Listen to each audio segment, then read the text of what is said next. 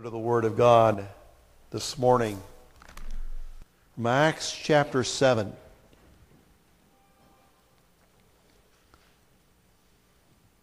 Verse 2 and following says, He said, Hear me, brethren and fathers. The God of glory appeared to our father Abraham when he was in Mesopotamia, before he lived in Haran. And he said to him, Leave your country and your relatives and come to the land that I will show you. Then he left the land of the Chaldeans and settled in Haran. From there, after his father died, God had him move to this country in which you are now living. But he gave him no inheritance in it, not even a foot of ground. And yet, even when he had no child, he promised that he would give to him as a possession to the descendants after him. But God spoke to this effect that his descendants would be aliens in a foreign land, that they would be enslaved and mistreated for 400 years. And whatever nation to which they will be in bondage, myself I will judge, God said. And after that, they will come out and serve me in this place. Let's go to the Lord, the God of Abraham and Isaac and Jacob. Abraham it was called friend of God. Let's go to him now. O God of covenants, promises, blessed to be a blessing. Help us, dear Lord, today to be conduits of the raging fires that are around us. Remind us, Lord, that sometimes to be a blessing, we have to walk away from something that is not of you. We have to walk away from stuff may be familiar, may seem to be sensible, may have comforts written all over them. But those things, if they're not of you, will be a hindrance to the blessing. Lord, be the presence that leads us through this service, that leaves us not by ourselves, but with a confidence that you are there with all power, with all wisdom, and with your presence every moment, in every place, for every day. Amen. Sandy? Our walk with God through this season of Lent on this second Sunday. Ask the question How will God break through? In order for God to break through, sometimes there's things we have to walk away from. Obstacles to being the blessing that God wants for us and from us. What is it we have to walk away from? A relationship that's toxic? Maybe not because it's not good, because God's alignment isn't right. Does that make sense? That something in a relationship with you and God isn't right, and so therefore the relationship isn't right. That's true of a lot of things family, organizations we could belong to, time that we spend with teams and doing other things, even in the cause of serving our country.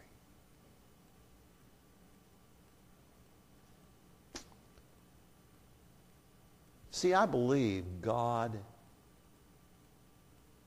doesn't give up. Abraham is a reminder God doesn't give up. We think of Abraham as this great big giant of faith that we could never arise to.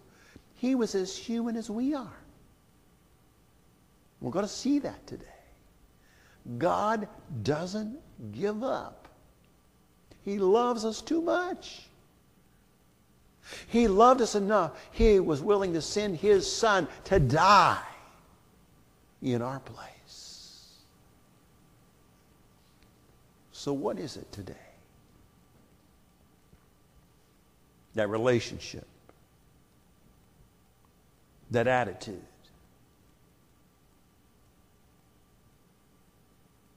That possession or that desire that drive.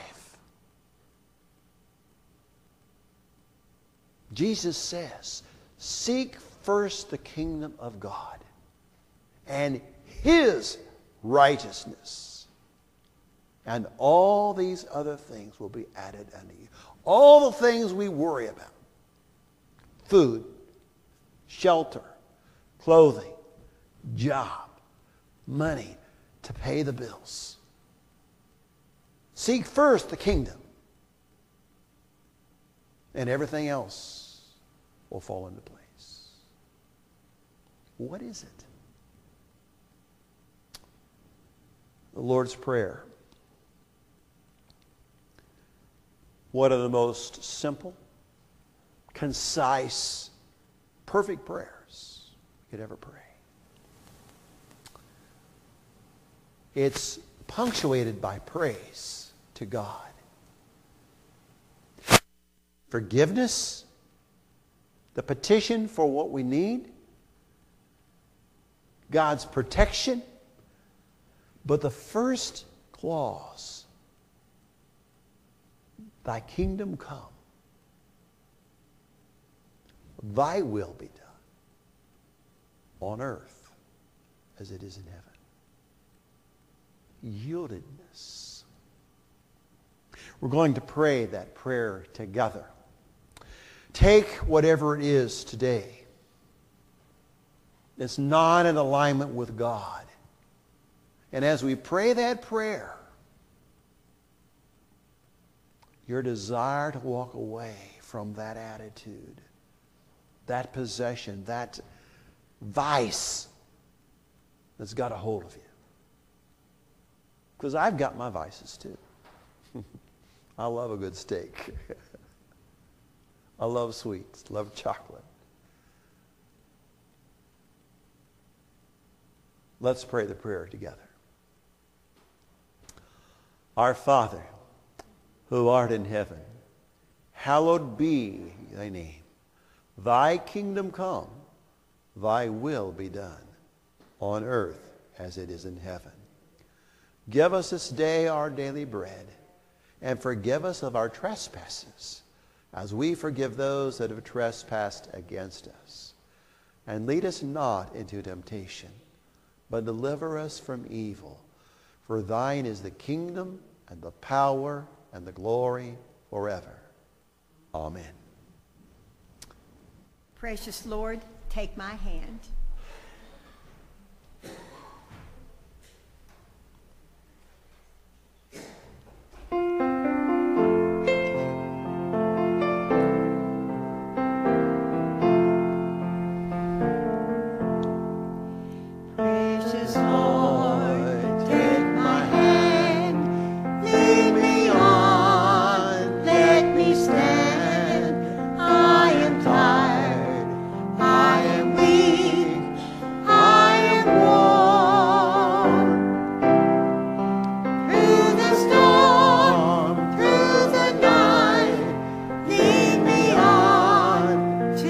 and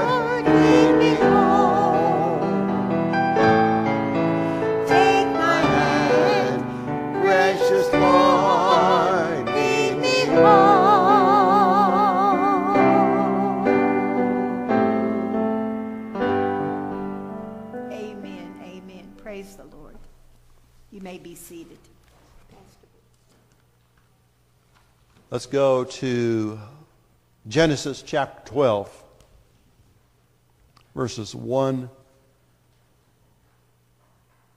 through 4.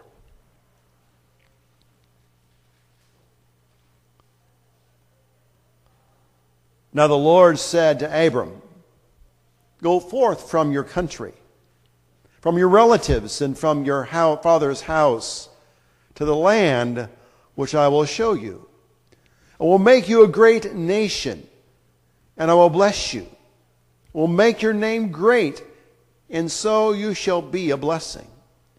I will bless those who bless you, and the one who curses you I will curse.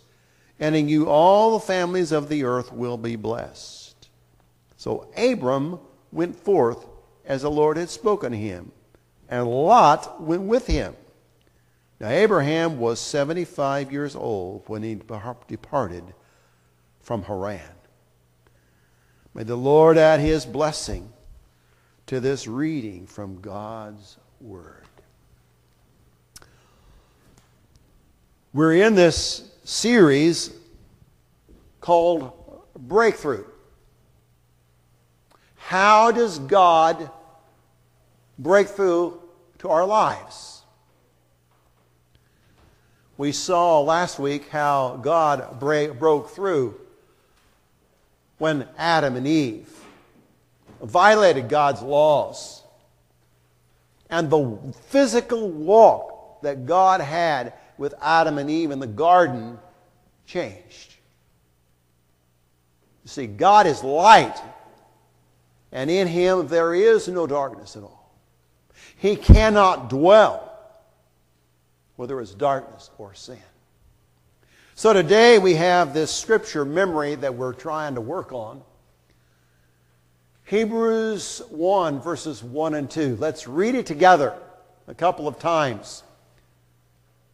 God, repeat after me, after he spoke long ago to the fathers and the prophets in many portions and in many ways in these last days, he has spoken to us in his Son, whom he appointed heir of all things, through whom he also made the world. May the Lord add his blessing to this reading from God's Word. Many portions and many ways in these last days, he has spoken to us in his Son. How would God break through if he could not walk among us? That's the question. Well, the answer is when God created Adam back in chapter 2 of Genesis, it says that God formed him out of the dust of the ground and breathed into him the Ruach, the breath of God and he became a living being. We are not just flesh and blood, but spirit. We have God's breath in us. That's what's different from us than the animals. We have God's breath in us. So how does he make a breakthrough in our lives? He does it through a number of ways. The Old Testament talks about dreams, talks about visions, it talks about prophets and judges, talks about kings, and eventually we come to Christ. But intuition, that still small voice in us, is huge. Now, today, what we have is God's call to Abraham, where God says to Abraham, Go, get out. Intuition, that still small voice. I will never forget wrestling with God's call in my life. God had called me to be a preacher. I already was 19, approaching 19, working for my dad at the family business. That meant I would have to leave home, go to school. I was not a very good student.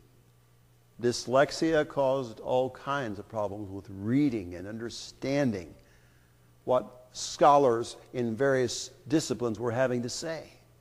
I did not have a good track record when it came to my grade point average. God put people in my path that kind of helped me with that. But I will never forget the last day that I was working for my dad full time. And I was taking a piece of two pieces of machinery off of the tilt bed truck that he had, hydraulic tilt bed truck. We were taking them back from the fairgrounds and the annual fair, county fair. There was a skid steer loader on the top of the truck, which was had a winch around it and it was chained. And then behind that was a, a round baler. And I was attempting to take these off of the truck. And I had done this before. It wasn't like I had never done it before. But, you know, I, I checked the winch and it was all right. And then I unhooked all of the chains. And in order to get the, uh, the skid steer loader to, to work, I had to start it up. So I got into the cage, started it up, raised up the bucket.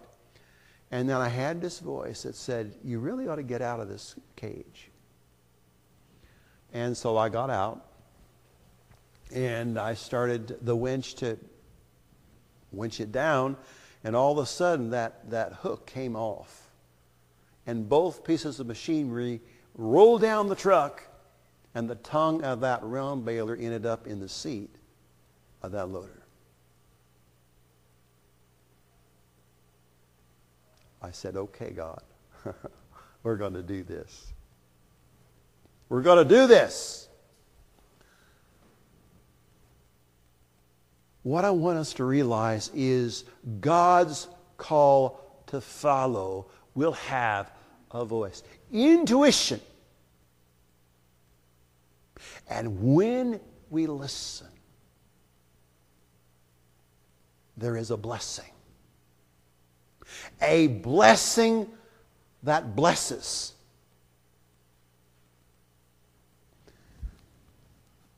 We go now to the book of Hebrews, chapter 11.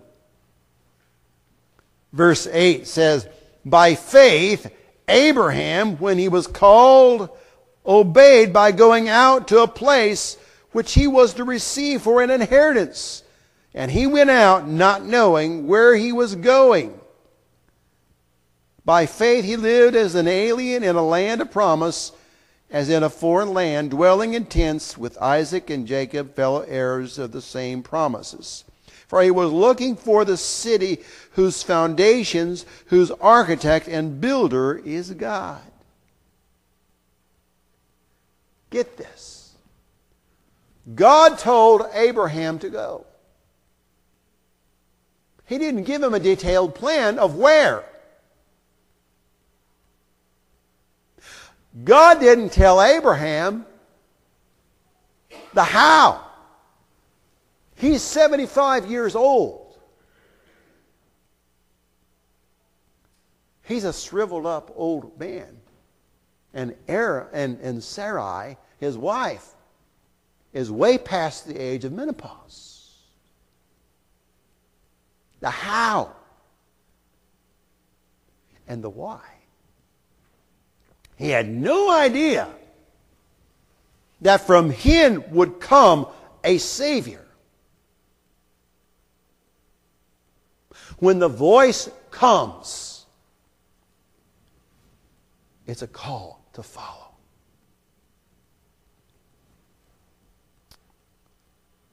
But it also brings a crisis of faith.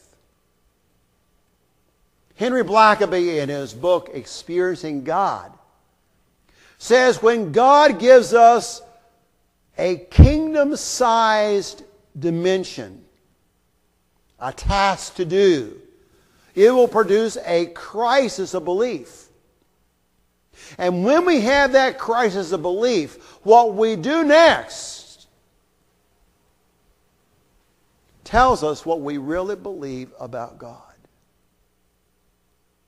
Now, see, we thought that this started with Genesis chapter 12, where we began.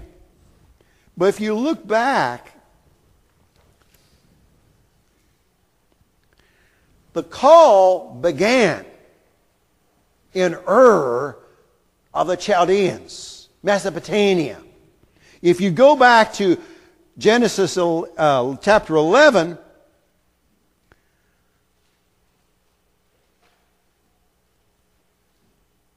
It says, Now the, the, the, records of the generations of Terah, and Terah became the father of Abram and Nahor and Haran, and Haran became the father of Lot.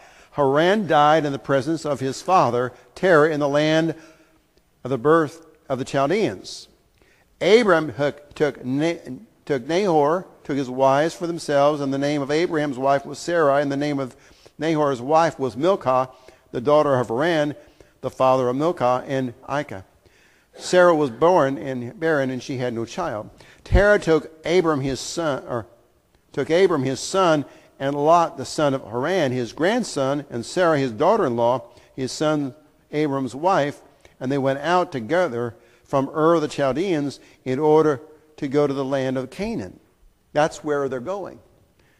And they far, went as far as Haran and settled there. Abram's already got the call. He had it back on Ur. But they settled in Haran. Why did they settle in Haran? It says, verse 32, the days of Terah were 205 years, and Terah died in Haran. They were waiting for Terah to die. God didn't say to Abraham, wait for your father to die. He said, go. Leave your family. Leave your land. Leave everything you've ever known behind and go. What's going on? The answer is in the beginning, you see, and this is what's encouraging to me. Abram didn't go. He waited. He waited. Remember the guy who came to Jesus one day in Luke? He said, I'll follow you wherever you go. Just let me first bury my father. But now his father's not dead yet. His father's not dead yet. Jesus says, You follow me and proclaim the kingdom of God. You follow me. Why? There was an obstacle, there was a crisis of faith. Even Abraham did not want to disturb for a long while. What I want us to realize is family is great.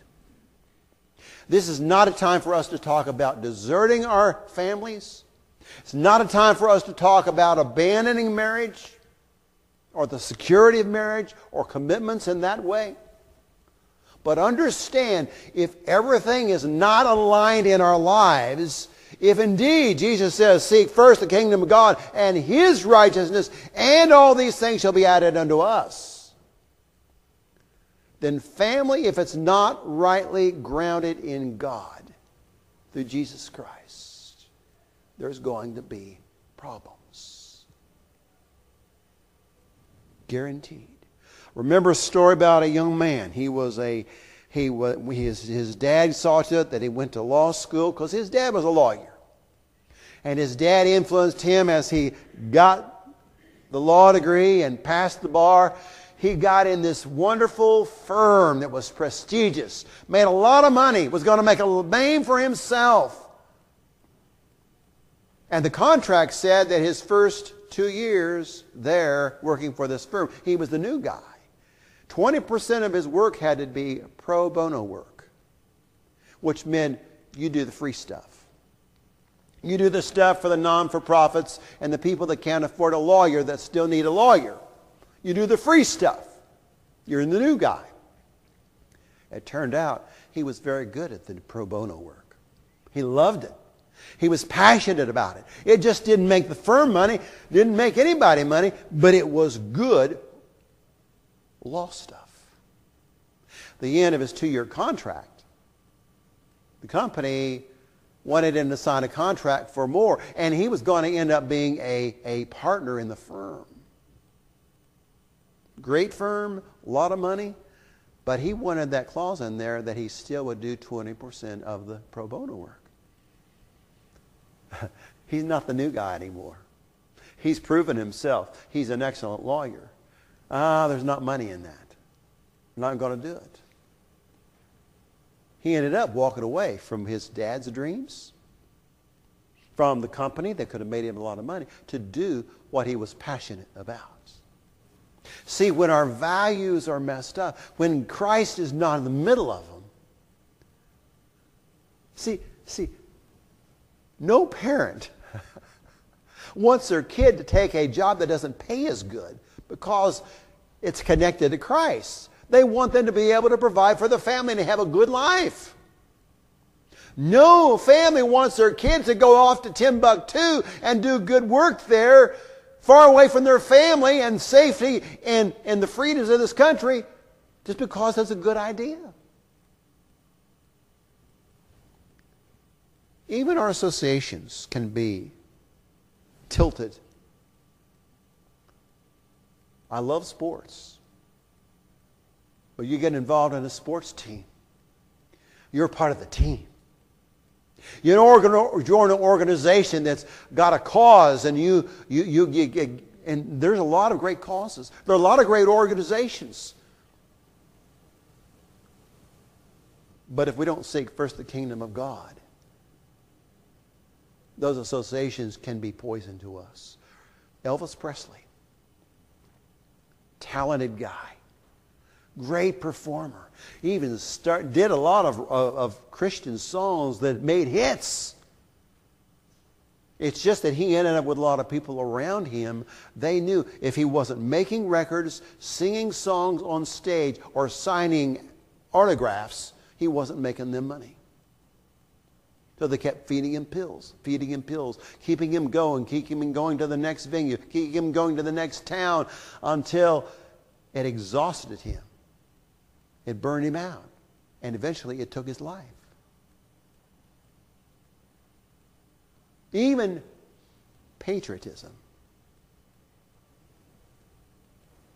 Chuck Colson was an ex Marine before he was born again served his country well, went into the law profession determined to make a difference for this country. And because his values were warped, he had this power hungry frame of mind that says, we're going to do it at all costs. He became the White House hatchet man for Richard M. Nixon when Watergate broke. landed him in prison. Richard M. Nixon resigned in disgrace. And in prison, experienced new birth. All I'm saying is,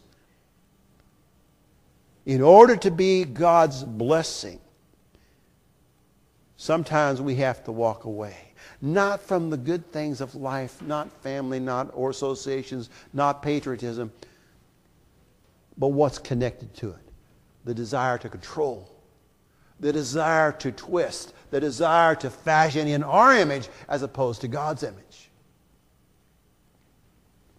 That's where we have today this covenant of confirmation.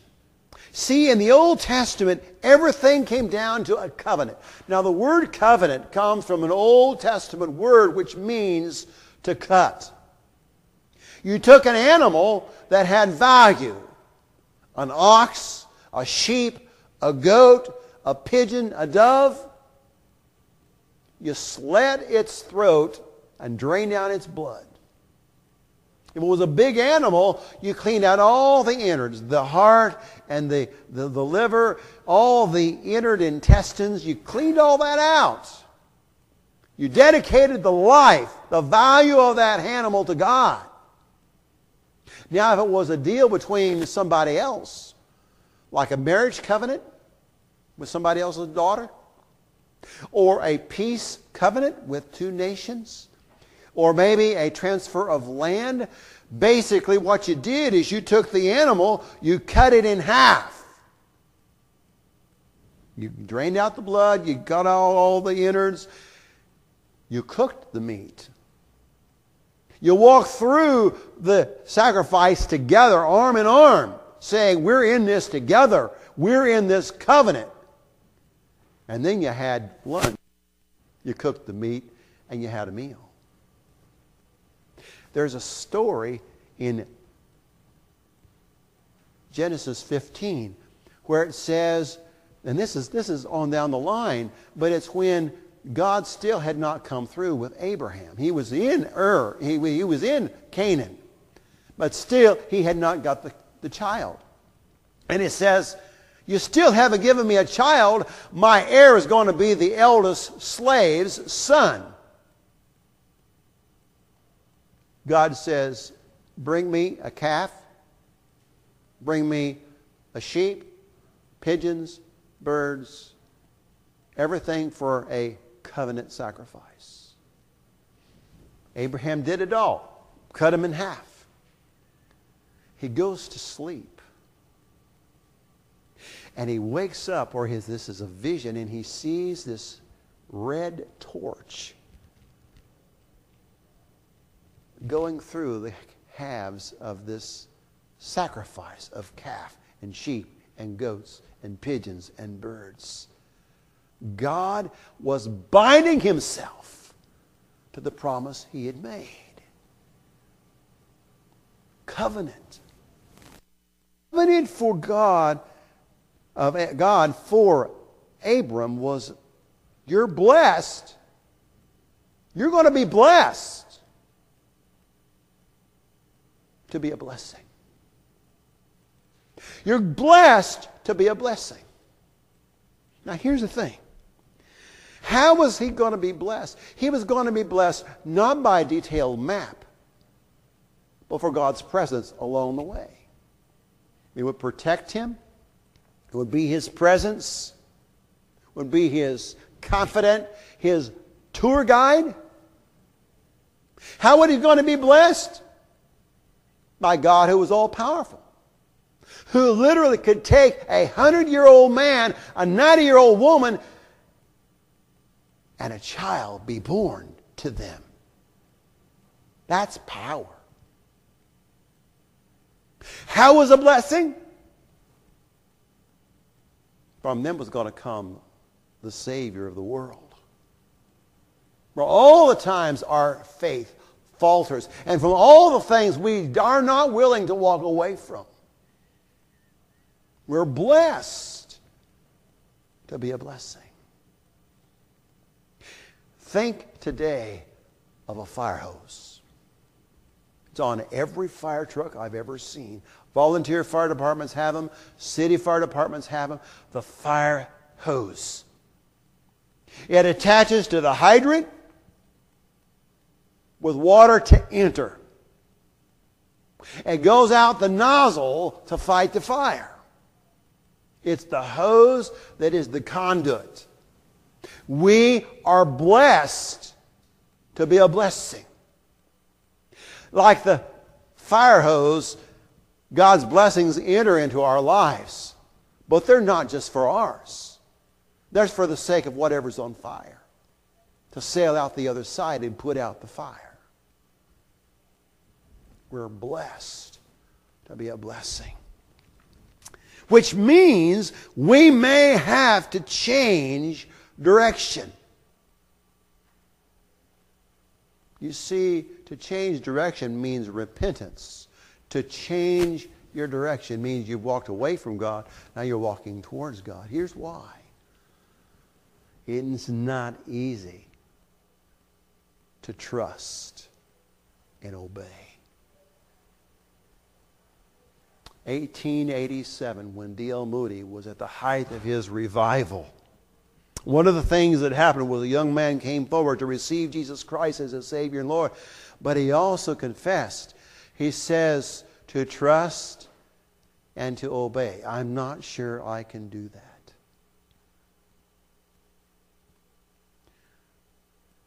the music director of Moody Bible Institute, got his words, and a hymn was born. The words, trust and obey, for there's no other way to be happy in Jesus but to trust and obey. Trust? Can I trust God with the direction, the miracle I need, the salvation I've got to have? Do I trust Him? Isaiah 55 9 says, As heavens are the higher than the earth, so are my ways higher than your ways, and my thoughts your thoughts. Which means we have tunnel vision. We have a scope, narrow view to this problem on this date, this deadline, this thing going on. And that's what we're focused on. God has the big picture of how all that works together. Trust that He knows and obey. That means as soon as He says it. It means no matter the complication, no matter what people think, no matter the popular view of what you're being asked to do. Now, here's the thing all this worked for Abraham's life from the moment that he actually left and obeyed God in verse 2. It says, finally, he did go. He did go, but he took Lot. He took Lot with him. God didn't say to take Lot. And he caused a lot of problems for Abraham. He caused a lot of delay. And finally, they had to divide. Remember, they had to divide. There, there was not enough grass for the two clans together. Finally, they had to make a choice. In fact, Abraham gave Lot the choice. He saw the promised land. He saw the land of Canaan. He saw the rich, fertile uh, valley towards Sodom and Gomorrah. Lot chose that. In fact, Abraham had to later on go rescue Lot because he was in a captive of one of the residents of Sodom and Gomorrah. A lot of delays because it took Lot way too long. But here's the thing. In the end, Abram made the right choice. James says it well. Chapter 2, verse 23. Abraham believed God, was reckoning him as righteous, and he was known from that day on as friend of God. Now that's not as that, that that's pretty plain. But here's the thing. We look at his life, it wasn't so that so so easy. You look at his life from the moment that he leaves, and it's interesting. Abraham indeed has moments of honor. He has moments of honor where he's willing to sacrifice Isaac on that altar. He has moments of honor when it says that he, at the Mount of Ai, which by the way means the sho- under the shoulder, under the shoulder. Wouldn't you like to have God under your shoulder when you get tired, when you need support? Ai means shoulder, under the shoulder. There are moments that Abraham, he builds an altar and he calls on the name of the Lord, and the Lord meets him at that altar. It's his point of prayer and praise. And every time he does that, his life is fine. His family's life is fine. His associations are fine. His blessings are fine. But there's moments of dishonor too. It seems like there's always those distractions the plague, the famine that, lead, that causes him to leave the promised land when God says that is yours. He left it. And when he leaves it, he doesn't build altars anymore. He doesn't build altars anymore. There's no prayers, there's no praise, there's no connection. And that's when he begins to lie. See, he lied several times, several moments in his life to the kings of the nations he was sojourning in. He lied because he didn't trust the God he, he was willing to follow and leave everything behind, he said. But he wasn't willing to trust that God to protect him. He said to his wife, You lie and tell me you're my sister. Well, he was a half, she was a half sister. That's why they got, got married. The point is, he lied. Think what that lie could have done to this covenant. Think what it could have done, what it did do to Sarah. It was betrayal to her. What am I? Am I not worth fighting for? And to those foreign kings, when they found out, was a horrible disgrace to his witness. What do we do with this today? Covenant of blessing. It's important for us to realize that if we're going to have and be a blessing that will bless others, there's things we have to walk away from. Whatever, whatever is in the throne of our lives, that's what we have to walk away from. Family might be the most important thing in the world to you. And that's a great thing if Jesus is on the throne. But if the family is on the throne and Jesus is off on the sidelines, you can cause a lot of problems, a lot of pain, a lot of hurt. And end up manipulating something that you just want to control because you want it so badly, rather than letting God bless and be a blessing. What is it we have to walk away from that's hindering the blessing from happening? That's the question.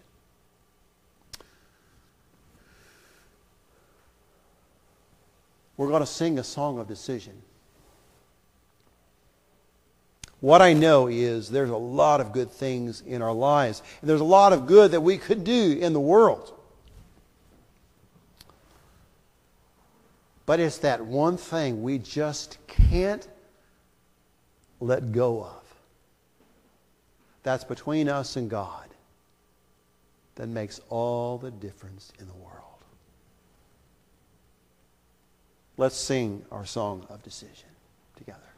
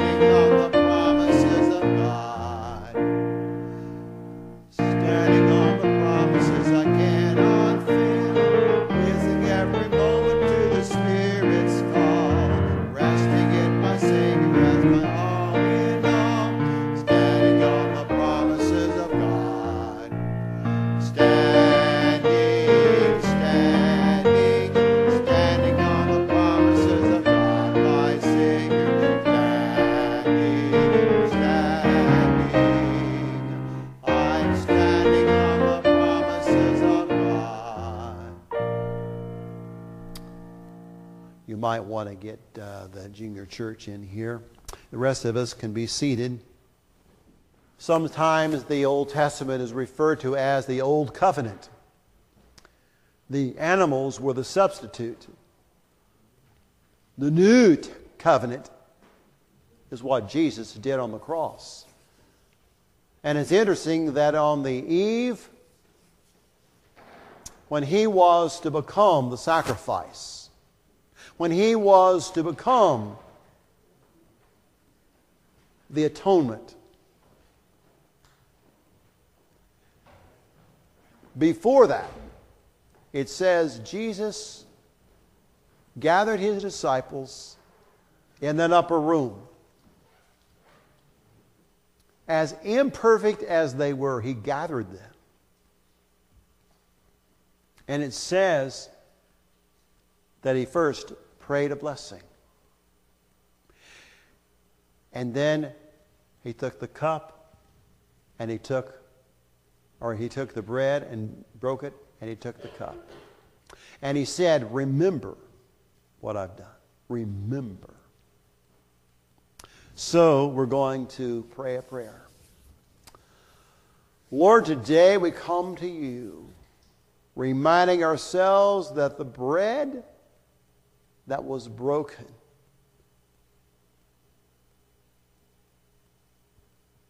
was a token of what would be done to you.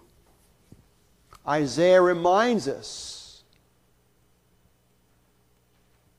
that you were wounded for our transgressions, you were bruised for iniquities. The chastisement of all were upon you, and by your stripes we are healed. Oh, we need that healing. That healing, not just from the physical effects of sin, but for the sinful choices we've made and continue to make. And this cup. Lord, life is in the blood a life poured out. And your life was poured out at Calvary for us.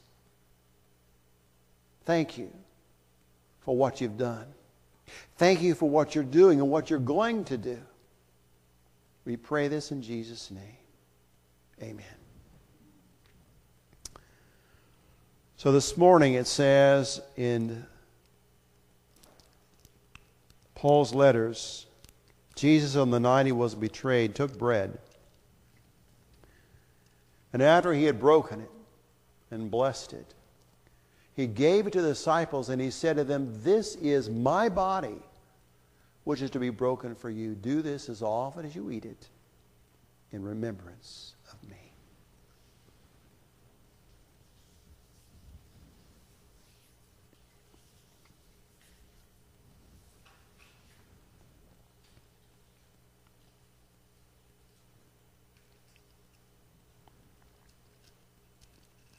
And then it says, Jesus took the cup. He said, This cup is the new covenant in my blood. Do this as often as you drink it in remembrance of me.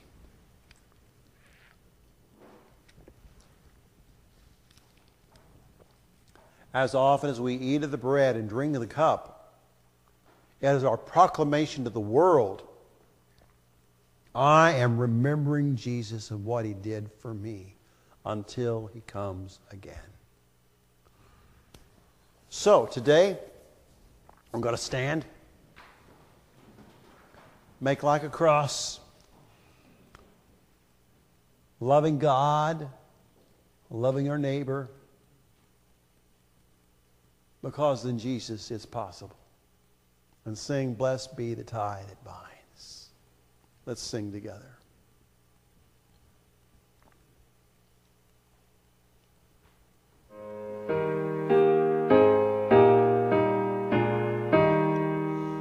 Blessed be the tie that binds our hearts